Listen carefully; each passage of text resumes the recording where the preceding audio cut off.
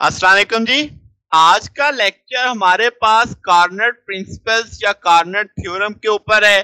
फिर हम देखेंगे कि कार्नर की एफिशिएंसी का जो फार्मूला बना था, उसको प्रूफ कैसे किया जा सकता है। हमने तो इन टर्म ऑफ़ हीट देखा था तो इन टर्म ऑफ़ टेम्परेचर कैसे उसे एक्सप्लेन किया जा सकता है। तो उस चीज़ का प्रूफ है बेसिकली तो कार्नर प्रिंसिपल्स क्या है? इसे हम कार्नर थ्योरम में भी कुछ बुक्स में लिखा होता है।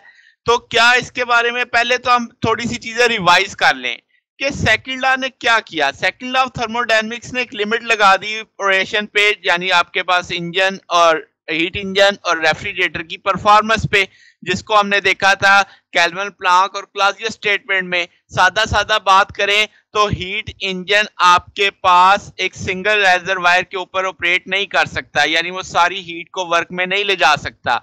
और रेफ्रिजरेटर भी ऑपरेट नहीं कर सकता जब तक आप उसे अगर कोई इनपुट एनर्जी नहीं देंगे तो आपके पास हीट खुद ब खुद लो रेजरवायर से high reservoir high temperature reservoir तक नहीं जाएगी जब तक आप उसको कोई एनर्जी इनपुट नहीं देंगे। तो ये दो बातें एक तरह से कह लें वन लाइनर थे आपके पास कैलवन प्लांक और क्लासिया स्टेटमेंट के।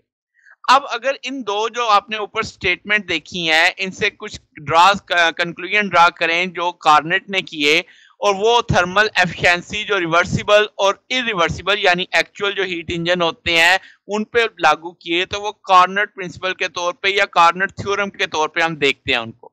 सबसे पहला क्या है इनमें? पहला पास्टुलेट कह लें कि ऐसा इंजन बनाना नामुमकिन है। जो दो रेजरवायर्स के बीच में ऑपरेट कर रहा हो और वो कॉर्नर इंजन से ज़्यादा एफिशिएंट हो। यानी कि आपने एक इंजन बनाया और वो आपके पास दो टेम्परेचर रेजरवायर यानी एक हाई टेम्परेचर रेजरवायर और एक लो टेम्परेचर या सोर्स और सिंक रेजरवायर के बीच में वर्क कर रहा है, कोई भी कोई भी हीट इंजन कॉर्नेट के इंजन से ज़्यादा एफिशिएंट नहीं हो सकता। अच्छा दूसरी एपासुलेट क्या है? पॉस्टुलेट के मुताबिक जो कॉर्नेट इंजन की एफिशिएंसी है, वो आपके पास वर्किंग सब्सटेंस पे डिपेंड ही नहीं करती, या किसी डिज़ाइन पे भी डिपेंड नहीं करती। वो सिर्फ़ सोर्स और सिंक के टेम्परेचर या हीट पे डिपेंड करती है। बात समझ आई? तो अब इसका मतलब यहाँ पे वर्किंग एलिमेंट कौन सा है? कैसे वो इंजन डिज़ाइन किया गया है? इस पे वो मैटर ही नहीं करेगी। फिर तीसरा पास्टुलेट क्या है कि जितने रिवर्सिबल इंजन है, जो दो टेम्परेचर राइजर वायर के बीच में वर्क कर रहे होते हैं, उनकी उतनी ही एफिशिएंसी होगी जितना कॉर्नट इंजन वाला दो जिन रेजरवायर्स के टेम्परेचर पे वर्किंग कर रहा है। सादा सादा बात करूँ तो अगर आपके पास दो इंजन है, जैसे आप इस केस में देख रहे हैं, आपको दो अलग अलग इंजन दिखाए जा रहे हैं, एक तरफ़ से आने वाली हीट Q1A है, जो वर्क हो रहा है, W है और यहाँ से Q2 है रिजेक्ट हो रही है सिंक में। यहाँ से Q1B है वर्क हो रहा है डब्ल्यू बी जो रिजेक्ट हो रही है क्यू टू भी। अब जरा मानो कि दोनों जो इंजन है, क्या सेम सोर्स और सेम सिंक के साथ कनेक्टेड है? इसका मतलब working at same temperature reservoir पे है। तो इनकी एफिशिएंसी भी सेम होगी। इनमें यहाँ पे वर्किंग का एलिमेंट कौन सा है? वर्किंग सब्सटेंस दोनों में कौन सा है? कोई फ़र्क नहीं पड़ेगा। इनका डिज़ाइन कैसा है? कोई फ़र्क नहीं पड़ेगा। और इन दोनों इंजन की एफिशिएंसी भी बराबर होगी। यानी कि आपके पास सेम एफिशिएंसी कैरी करेंगे। तो थर्ड पास्टुलेट आपको समझ आ रहा है कि आपके पास अहमियत सिर्फ़ किसकी रह गई? सोर्स और सिंक के टेम्परेचर की या सोर्स और सिंक की हीट की? बात समझ आ गई? अच्छा जी। अब इसको लेके हम कहते हैं कि जो कल हमने टूल बनाया था कॉर्नेट इंजन की एफिशिएंसी का, वो था one minus Q L over Q H Q H किसका था? हाई रेजरवायर और एल था लो कोल्ड रेजरवायर का हीट थी। अब जो मैंने यहाँ से देखना है, मैं ज्यूम करता हूँ कि हमने आइडियल गैस वर्किंग सब्सटेंस के तौर पे ली हुई है, ताकि मुझे वर्क कैलकुलेट करने में आसानी रहे। तो चार प्रोसेस हमने पढ़े थे। स्टेज वन में प्रोसेस हुआ था वन से तक आइसोथर्मल आपके पास एक्सपेंशन थी तो इसमें टेम्परेचर तो आइसोथर्मल में कांस्टेंट रहता है तो उसका वर्क डन अब आप देख सकते हैं कि भाई आइसोथर्मल है टेम्परेचर कांस्टेंट रहेगा, इसका ना इंटरनल एनर्जी में तो चेंज नहीं आएगा। तो अब आपके पास Q आपने निकालना है तो वो वर्क के बराबर ही होगा। तो आपने वर्क पहले से कैलकुलेट किया हुआ है, हमने आइसोथर्मल का वर्क निकाला हुआ था तो आप पीडीवी का टूल लगाएँगे N R T H natural V two over V one आ जाएगा। अब जो स्टेज टू थी आपके पास, जिसमें प्रोसेस टू से थ्री तक हुआ था, ये एडियाबैटिक एक्सपेंशन थी। अब एडियाबैटिक में ना हीट दी जाती है, ना हीट ली जाती है फुली आपके पास इंसुलेटेड कर दिया जाता है। अब आपने जब एक्सपेंशन दी टेम्परेचर गिरा तो अब आपने कोई हीट तो प्रोवाइड नहीं की तो क्यू टू से थ्री तक आपकी, ये आपके पास ज़ीरो फैक्टर आ जाएगा, यानी वर्क भी एक तरह से काउंट नहीं होगा इसमें। अब आपके पास स्टेज थ्री अब आइसोथर्मल कंप्रेशन का मामला आया था। टेम्परेचर जो टीएल था उसने कांस्टेंट रहना था। अब आप उसको नेगेटिव में काउंट कर रहे हैं क्योंकि आपने सिस्टम पे वर्क करना था। कंप्रेशन करनी थी। Work done on the system था। तो इसलिए नेगेटिव साथ में चल रहा है। तो ये नेगेटिव आपने इसी तरह minus N R T L natural V three V four to V three आ जाएगा।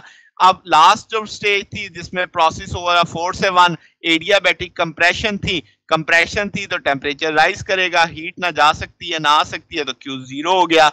अब जनाब, आपके पास यहाँ पे जो क्यू एल है, ये तो नेगेटिव में आ रहा है। हम इसे पॉजिटिव क्वांटिटी के तौर पे देखेंगे। तो अब आपने फिर वक्त क्या किया कि इसको एज इट इज़ जाने दिया। आपने इसकी वैल्यू प्लेस की, जो हीट का फार्मूला था। अब आपने वो नेगेटिव नेगेटिव क्या हो जाएगा? पॉजिटिव तो ये फार्मूले का ये रूप आ जाएगा इक्वेशन नंबर वन के तौर पे। अब ये खत्म नहीं हुआ, इसमें वैल्यूज़ लगनी है। अभी तो देखो, मैंने जो दोनों वैल्यूज़ डाली हैं, वो आइसोथर्मल से उठा के डाली हैं। क्योंकि क्यू एच और क्यू एल की वैल्यू मुझे मिली वहाँ से थी। इसमें एडियाबैटिक का तो अभी कोई किरदार आया ही नहीं है। तो पहले अब एडियाबैटिक की तरफ़ चलते हैं। हम एडियाबैटिक की इक्वेशन जानते हैं। टीवी गैमा माइनस वन बराबर होता है T two V two gamma minus one के। अब अगर आप इसको प्रोसेस टू से थ्री तक देखते तो आप हाई टेम्परेचर पे थे एडियाबैटिक क्या थी? एक्सपेंशन थी। टेम्परेचर गिर के क्या हो गया? टीएल पहले वॉल्यूम V2 था, अब वॉल्यूम क्या हो गया? V3 तो इसी फार्मूले के कंसेप्ट में मैंने ये लिख दिया है। अब जब आप फोर से वन पे गए थे तो एडियाबैटिक कंप्रेशन थी। टी एल से टी एच टेम्परेचर में चेंज आया था। वॉल्यूम में भी वी फोर से वी वन आप गए। तो जनाब ये उसी बस आखिर में जब मैंने ये लिखा, इसका सिर्फ़ जगह बदली है। तो अब आपके पास ए और बी को आप डिवाइड कर देते हैं लेफ़्ट साइड लेफ़्ट साइड से राइट साइड राइट साइड से टी एच टी एच से कट जाएगा टी एल टी एल से कट जाएगा। अब ये फैक्टर आ गया, पावरें एक जैसी हैं तो इकट्ठी करके लिख दी हैं। दोनों तरफ़ पावरें एक जैसी थी तो आप खत्म कर सकते हैं। तो V two over V one बराबर आ जाएगा V three over V four दोनों तरफ़ का नेचुरल ले लेते हैं। अब अब जब दोनों तरफ़ का नेचुरल लेंगे तो V three over V four अगर मैं इसे उल्टा दूँ वी फोर ऊपर कर दूँ वी थ्री नीचे कर दूँ तो बाहर एक नेगेटिव आ जाएगा।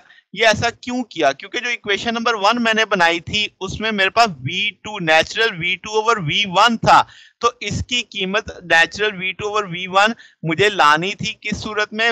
नेचुरल V4 ओवर V3 ताकि ऊपर वाले फैक्टर से वो कट सके। तो इसलिए मैंने उसके साथ क्या लगा दिया? माइनस तो अब ये value natural V2 over V1 की नीचे प्लेस की जा सकती है। अब इसमें देखो एन एन से कट जाएगा आर आर से कट जाएगा नेचुरल V4 ओवर V3 नीचे वाले नेचुरल V4 ओवर V3 से कट जाएगा नेगेटिव साथ में मल्टीप्लाई हो जाएगा तो एफिशिएंसी आ जाएगी one minus T L over T H तो आपने देखा कि ये फार्मूला अब हमने बाकायदा प्रूफ किया है।